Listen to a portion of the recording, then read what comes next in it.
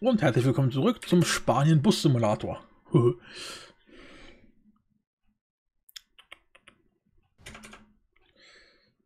so, let's go. Viva la France. So, wir sind gerade in Spanien und fahren weiter Richtung. Ja, bis wohin fahren wir eigentlich? Fahren wir bis nach Portugal? Faro. Wo ist denn Faro? Ist das von Portugal? Map. Ja, schon Portugal. Hier ist die Grenze, da fahren wir hin. Zeit zu gehen.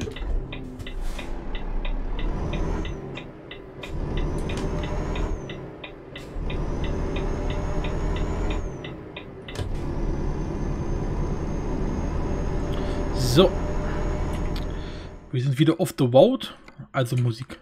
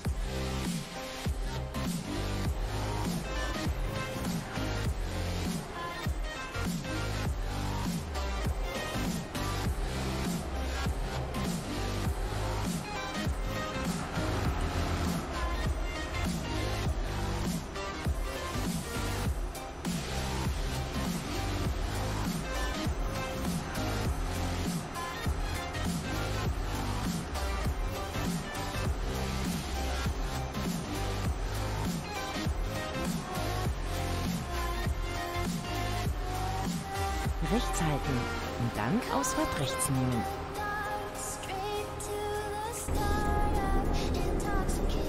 Nimm die Ausfahrt rechts.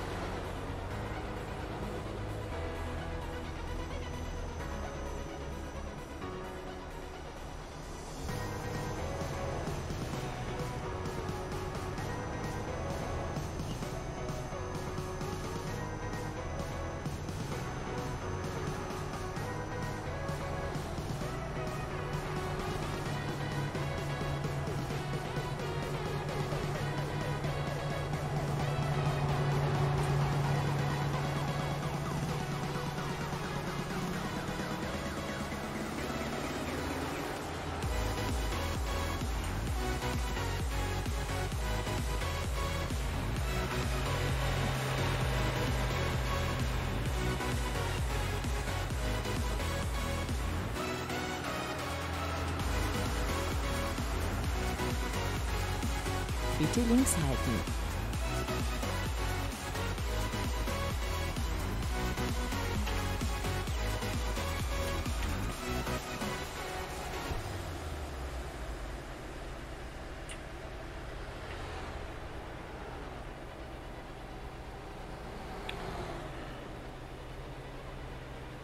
Volle Konzentration hier gerade, Alter. Ist so schwierig mit dieser externen Ansicht mit der Maussteuerung zu fahren. Eieiei.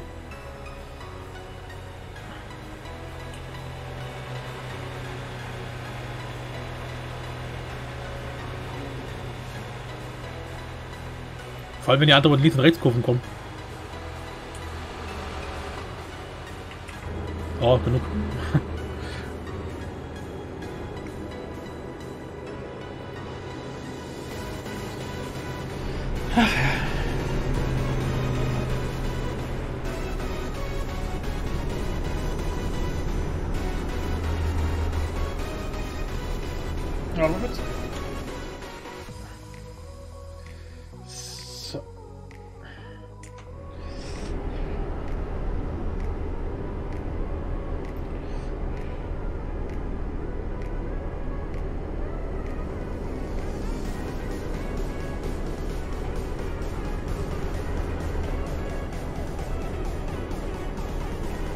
Vorne ist ein bisschen Stau.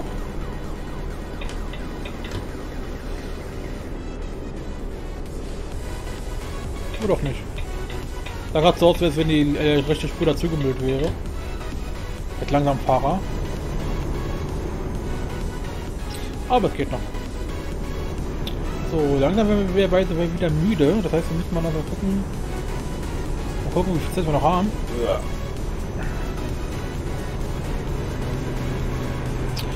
Noch knapp vier Stunden, okay.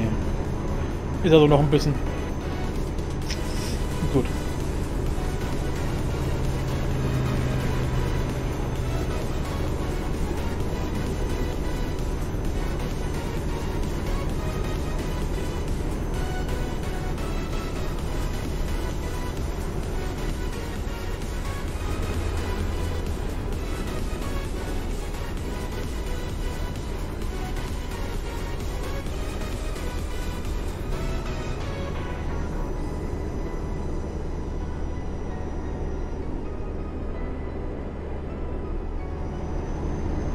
links halten.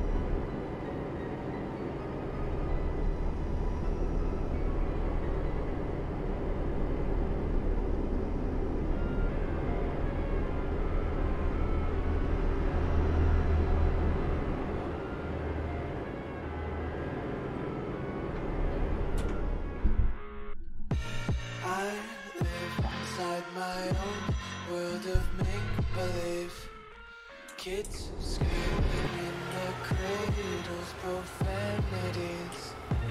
I see the world through ice covered in ink. Cross out the ones who heard my cries and watched me weep. I love everything.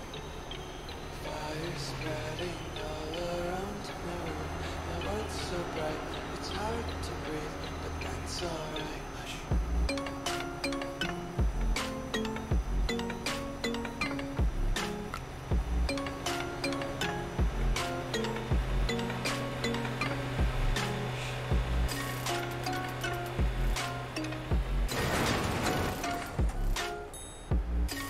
Sorry. Alter, ich bin gerade so mittig hier.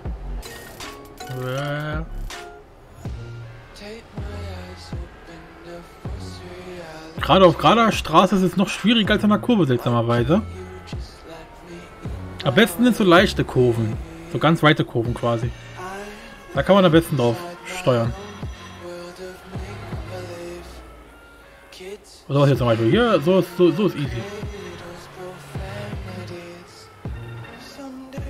Aber zu enge Kurven ist natürlich sehr schwer. Und gerade Strecke ist seltsamerweise auch schwer. Also nicht seltsamerweise, aber intuitiv würde man sagen, gerade Strecken sind am einfachsten. Aber nee.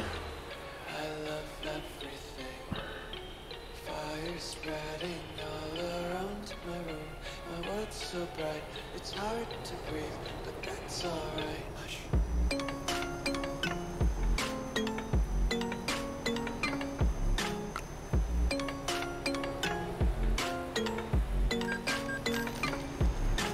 Wie kostet das? Ah, Kredit. Oh. oh, Alter.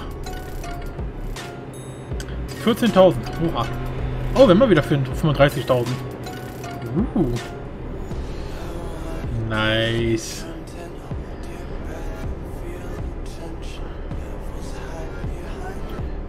Astrid L, ist das der erste neue? Nee, ne? Nee, nee, Astrid L haben wir schon länger. Äh, wo denn jetzt? Da. Nee, doch, ist einer der neuen. Ah, okay, okay, okay, okay. Ah, ist sie.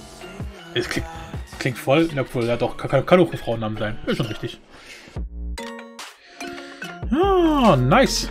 Ah, er hat sogar schon den ersten Punkt. Gut, ich weiß nicht, ob er schon einen Punkt hatte. Habe ich nicht drauf geachtet. Bei ihr weiß ich, dass sie keinen Punkt hatte. Hier hier sieht man es jetzt auch. Ah. Cool, hat sie ihre erste Mission erfolgreich abgeschlossen. Sehr geil. Oh, der hatte sogar schon ein paar. Wow. So schnell? Wir haben sie doch gerade mal erst vor zwei Folgen eingestellt, oder? Können sie nicht schon vier Fahrten haben? Ey, die Kleine ist aktiv. Die Kleine ist aktiv. Keine Ahnung. Oh, jetzt pennt sie aber. Gut, zu Recht. Er hat doch gerade vier Fahrten abgeschlossen, wahrscheinlich direkt hintereinander. Ey, sieht man leider nicht von wann bis wann, aber genau, Genf, Zürich, Zürich, Genf, Genf, Zürich, Zürich, Genf. Also, die ist wirklich zweimal hin und her gefahren, jeweils mit einer Fracht. So muss das sein, meine, Damen- meine Damen und Herren. Was, was macht der Typ hier? Der macht das gleiche. Genf, Zürich, Zürich, Genf, Genf, Straßburg. Und dann wieder Straßburg. Keine Ahnung was. Ja, machen eigentlich hier unsere, unsere, unsere Top-Kandidaten? Was machen die so? Ah. Ah ja, schon die 10.000 pro Strecke, ne? Ist schon geil. Das ist schon, ist schon ordentlich. Jetzt darf man natürlich auch nicht sagen, ne, wow, er verdient ja pro Strecke viel mehr als sie, weil, wie gesagt, er hat Fernfahrt, ne? Das heißt, seine Strecken sind auch länger, also. Aber potenziell hat er trotzdem schon pro Zeiteinheit mehr, weil natürlich zwischen den Fahrten jeweils Pause gemacht werden muss. Und er hat halt weniger Pausen zwischen den Fahrten, weil er mehr, weil er, weil er weniger Fahrten hat bei der gleichen Strecke. Deswegen fährt er quasi effizienter. Und das ist ja auch der Grund, weswegen ich persönlich immer erstmal auf Fernfahrten gehe. Da sieht man ja auch, auch, schon hier, ne, an diesem Euro pro Kilometer, dass er da halt wesentlich höher ist als sie. Gut, der hier ist verdammt schlecht. Was ist mit hier los?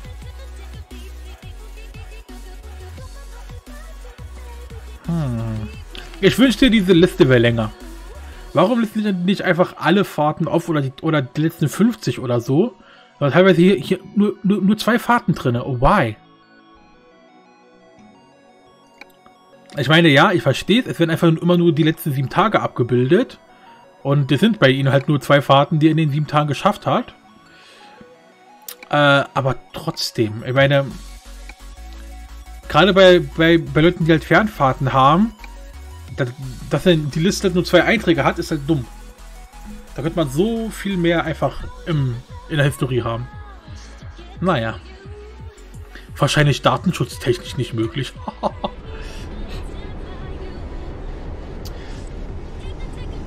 so, tanken wir hier? Nee, pennen wir hier? Nee. Siehst du, wir können gleich mal gucken. Nee, wir haben ja noch drei Stunden oder so. Ja, drei Stunden haben wir noch. Wir müssen uns also bald mal um eine Tankstelle, äh, um einen Schlafplatz kümmern. Weil hier ist relativ vorbei. Hier ist was. Hier ist auch was. Doch, sieht gut aus. Ja, doch. Okay, okay. Okay, alles gut. Da kommen wir locker an was vorbei. Sehr schön.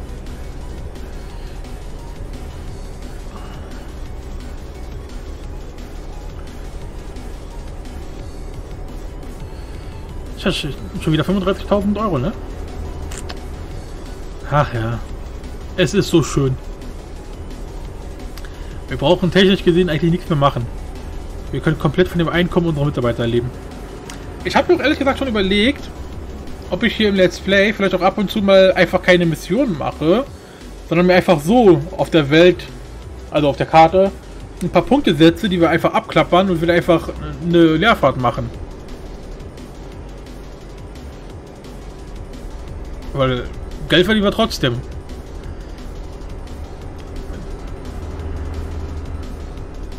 Und so könnten wir auf jeden Fall auch Orte abklappern, wo halt keine Missionen hinführen, wo wir aber halt auch sonst auch noch nicht waren. Ne? Gerade gerade hier unten. Äh, hier unten ist es immer schwierig, Missionen zu finden, die hier unten hinführen. Ja? Also einfach jemand irgendwie Wegepunkte setzen, so, bom, bam, bumm. Haben wir hier eine schöne Strecke und können einfach frei dahin fahren. Und müssen keine Angst haben, dass wir da währenddessen Geld verlieren. Und arm werden und sterben. Oder so. Weil unsere Mitarbeiter halt genug Geld mittlerweile einbringen. Deswegen wäre, wäre gar keine so dumme Idee. Aber ich weiß halt nicht, ob das denn... Ob da nicht Leute sagen, äh, Ronny, du, machst, du fährst ja keine Mission mehr. Du Langweiler, du, geh mal kacken. So. Also das mal, mal eine schöne Strecke. Bam. Geil. 13.000 Kilometer. Sind wir ein paar voll beschäftigt. Cool. Genau so muss das sein. Aber... ja, let's go. wir kommen locker noch rechtzeitig an. Wir brauchen bloß äh, 200 Stunden. Auf geht's. Achso, halt, halt. Äh, wo, ich dachte gerade, mit Escape wird die Strecke wieder verworfen, aber mit Escape gehen wir einfach nur da raus. Wir müssen ja hier zurücksetzen. So. Okay, wir fahren los. 8 Stunden VS für 100 Stunden. Aber mal gucken, wie viel hat wir noch gehabt? Ah, 42 Stunden. Gut. Hätte euch Strecke ein bisschen schneller fahren müssen, dann könnte man es vielleicht auch in die 40 Stunden schaffen. Alter, das wäre... Boah. Ne. Das wäre ein Faktor 20. Wir müssten 20 mal so schnell fahren, wie, wie, wie gedacht wäre. Wobei halt die falsch gedacht. Wir müssten fünfmal so schnell fahren.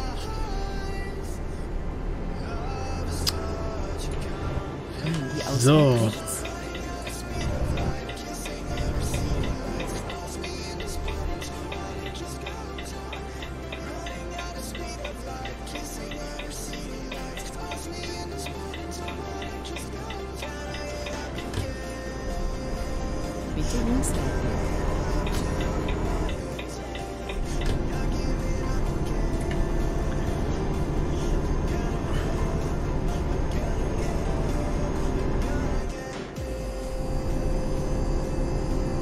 Ja, weil, weil ich meine, wäre sowieso wahnwitzig. Fünfmal so schnell fahren geht nicht. Keine Chance. Aber vor allen Dingen, du fährst ja nicht nur. Du musst ja auch zwischendurch mal pennen. Und spätestens das hätte uns halt rausgekillt.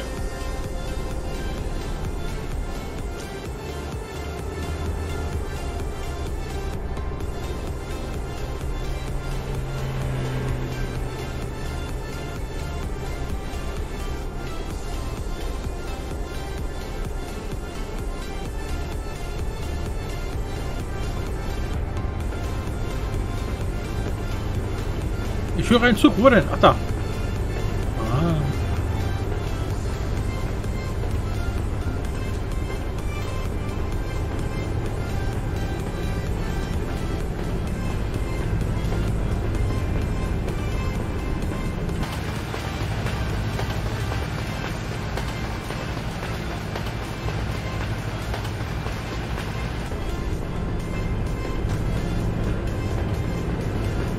Selbst hier, hier hört man den Zug.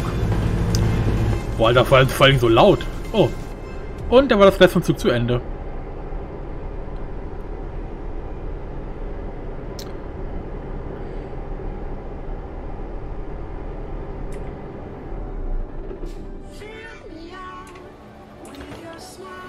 Na, hat man hier, wenn man hier so... Da. Das Gleis geht hier wahrscheinlich einfach geradeaus weiter. Ah nee, macht sogar eine Kurve. Ja, macht eine Kurve und führt dann hier auf die Autobahn. Deswegen war es auf einmal so laut, weil der Zug so, so relativ nah war bei uns. Und dann, wenn es gleich zu Ende ist, also äh, da, verschwindet der Zug halt einfach. Und deswegen hat es dann so plötzlich aufgehört.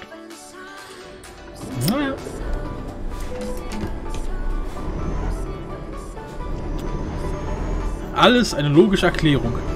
Nicht realistisch, aber spieletechnisch logisch. Oh, das ist ein Unfall.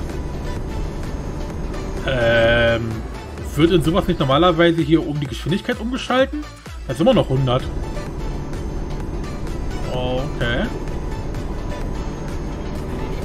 In einem Tunnel ein Unfall und dann dürfen alle immer noch mit 100 durchfahren. Ich weiß nicht, ob das eine gute Idee ist. Weil gerade deswegen sind es ja so eine elektronischen Anzeigen, damit man die halt in solchen Fällen umschalten kann.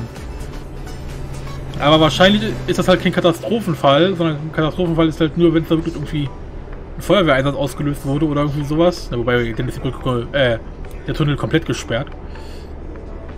Ja, aber vielleicht, keine Ahnung, unter welchen Bedingungen das da umgestellt wird. Aber ich hätte halt gedacht, beim Unfall wird es auch umgestellt. Gut, vielleicht wird es auch im echten, aber nur in dem Spiel jetzt nicht. Kann auch sein. Äh, wer weiß.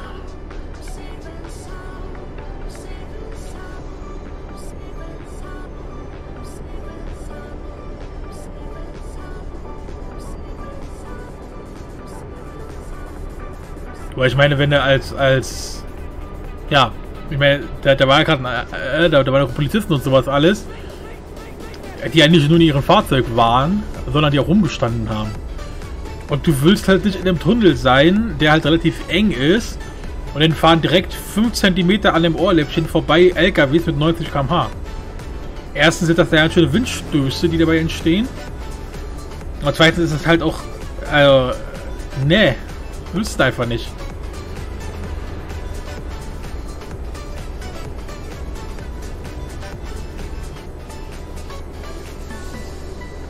Warum rennst du? Bleib cool, mein Freund. Oh mein Gott, er bremst. Warum denn diese? Was da vorne los? Hast du gar nichts. Oh mein Gott. Ihr seid doch alle bedellert.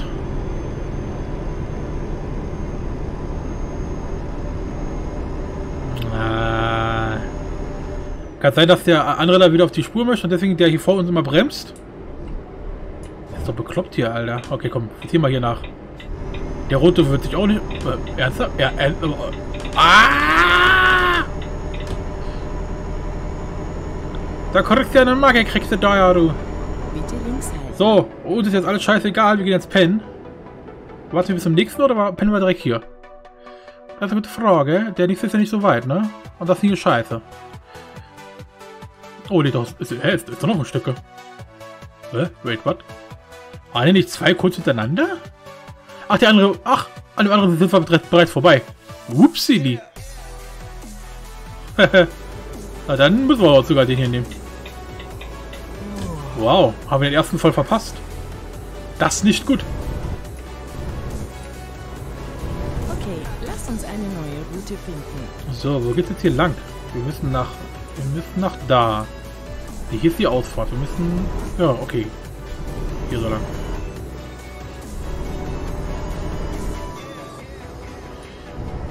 So. Au!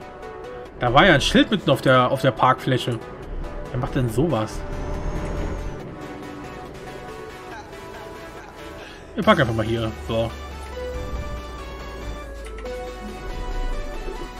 So, Handbremse und let's go. Das ist wahrscheinlich mitten in der Nacht jetzt. Und es pisst natürlich. Oh Leute, was ist los mit euch? Doch so nicht wahr. Egal, leck mich am Arsch. Das war's für die Folge. Bäh. Regen, Alter. Hm. Mein Fenster ist nass. ja, okay. Dann, ähm, was das für die Folge? Und dann sehen wir uns in der nächsten Folge wieder, wo wir dann schön in der Nacht fahren dürfen, während es regnet. Ist ja auch sehr geil. Gut, wir fahren zum Glück meistens Autobahn, aber auch da müssen wir natürlich aufpassen. Ich meine, wir fahren immer 90. Ja, bis dann.